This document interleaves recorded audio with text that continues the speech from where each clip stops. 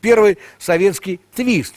И сейчас мы услышим эту песню в исполнении группы «Стиляги Бенд». Прошу.